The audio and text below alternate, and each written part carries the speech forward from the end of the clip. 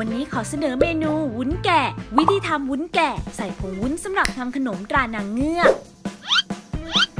เกลือป่น น้ำตาลทราย และกะทิสำเร็จรูปลงในภาชนะนำขึ้นตั้งไฟ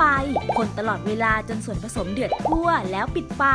แบ่งส่วนผสมออกเป็น 4 ส่วน ผสมสีผสมอาหารที่เตรียมไว้ และอีกหนึ่งส่วนเป็นวุ้นสีขาวหยอดวุ้นสีขาวลงในพิมพ์ซิลิโคนรูปแกะ เฉพาะส่วนใบหน้าแกะรอจนวุ้นเริ่มทรงตัว จากนั้นหยอดวุ้นสีต่างๆ ลงในพิมพ์ เป็นส่วนลำตัวของแกะ และนำเข้าแช่เย็นจนวุ้นทรงตัวดี แกะออกจากพิมพ์แล้วจัดวุ้นแกะใส่ภาชนะพร้อมเสิร์ฟกับเมนูวุ้นแกะค่ะ เมนูโดนใจจากผงวุ้นสำหรับทำขนมกาหนังเงือก